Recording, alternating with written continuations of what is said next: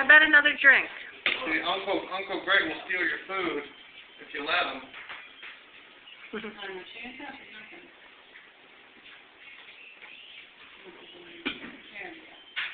Uncle Greg will steal your food. You're a good little eater, Alex.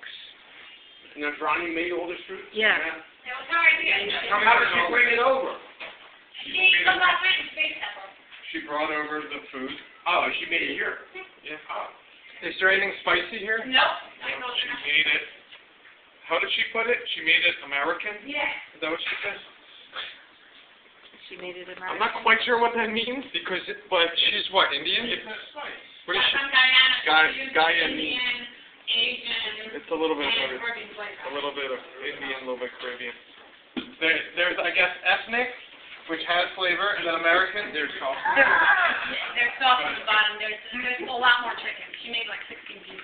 Yeah, the, the chicken. Ice a little, yeah. Bottom.